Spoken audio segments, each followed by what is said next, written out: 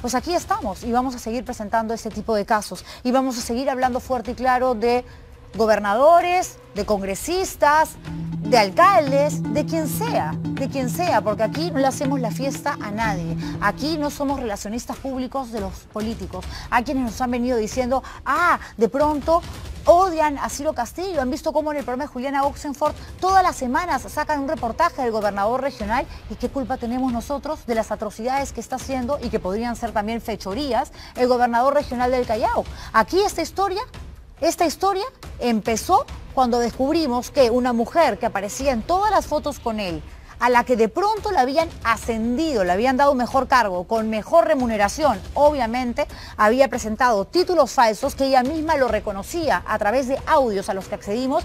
Y este video, ¿cómo olvidar donde aparece con esta señorita, la que niega como novia, dándole un beso en la boca? Cuando en paralelo está el otro audio donde la señorita Elvira Madeleine Goitia, dice, sí, estamos buscando un departamento cerca del Toroto para irnos a vivir juntos. Y aquí no importa la vida privada de la gente. A mí me vale madre realmente lo que haga un político con su vida privada.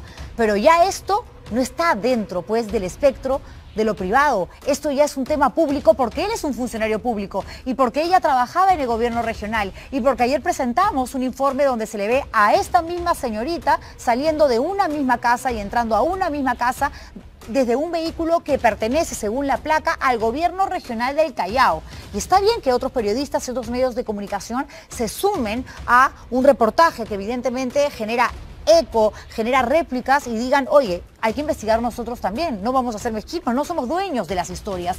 Y un dominical, Panorama, saca un audio donde aparece nuevamente Ciro Castillo hablando de un monto de dinero altísimo de 150 mil soles que le iban a dar, pero que al final no le llegó y que vamos a meter bala, etcétera, etcétera. Lo que ha salido a decir ahora Ciro Castillo es que ese audio no tiene ningún tipo de validez, que es una escucha trucha, producto de la inteligencia artificial. Yo de eso no puedo decir absolutamente nada porque, repito, esa parte de la historia no la hemos contado aquí en el estilo Juliana. Yo doy fe, suscribo y avalo cada uno de los informes que forman parte de las investigaciones que hacemos aquí, en este espacio. Pero ¿por qué no creer que está esperando 150 mil soles si ya hemos visto la calaña de Ciro Castillo, si ya hemos visto cómo niega a su novia, si ya hemos visto cómo intenta justificar aquello que no se puede justificar y que encima ni siquiera da explicaciones después de todos, de todos los casos de denuncias gravísimas que venimos presentando, porque no le importa, porque se cree el mandamás. Él dice que lo quieren vacar. En un momento de la entrevista afirma justamente que lo que se está buscando con toda esta campaña en su contra es espectorarlo del gobierno regional del Callao. ¿Tenemos un extracto? Sí, cuando él habla justamente en esta entrevista y se refiere a este audio de los 150 mil soles como un audio trucho. Buenas noches, ¿cómo está mi hermano Cruz? Encantado. Bien, ¿qué nos puede decir de este audio, supuesto audio, donde usted estaría implicado junto a un empresario por un caso de corrupción?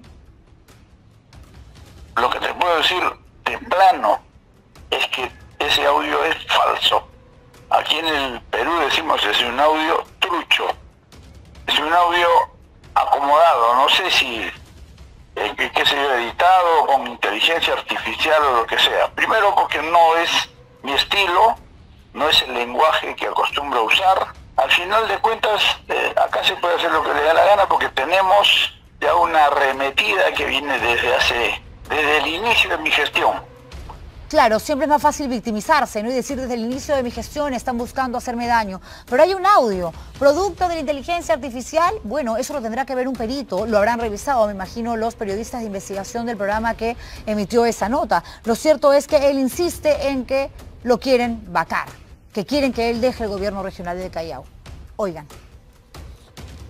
Estoy en una gestión que quiere hacer el cambio, que quiere hacer que se remonte tranquilamente todos esos años de corrupción que han habido y sin embargo esta gente siniestra pretende continuar para tapar todos los malos manejos que han hecho de dinero y que ya están en conocimiento de la Procuraduría de la República, la Contraloría, etcétera. ¿Y cuál es la forma? La forma que quieren hacer es defenestrándome atacando las bases de mi gobierno, queriendo vacarme. Bueno, de hecho hay un consejero delegado del Consejo Regional del Callao, José Sousa, que ha pedido convocar una sesión extraordinaria para tratar la suspensión y amonestación del gobernador Ciro Castillo. No puedes contratar a tu novia. Y si ya es tu novia, te enamoras de ella cuando eres gobernador, bueno, uno de los dos tiene que dejar el cargo, evidentemente. No le das un mejor puesto, un mejor cargo, de mayor rango, con más dinero y encima la paseas en autos ¿eh?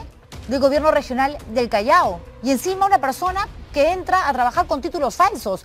Por supuesto que lo tienen no solamente que amonestar, lo deberían de sacar, expulsar del gobierno regional del Callao. Los chalacos no tienen la culpa de tener a este sujeto como gobernador.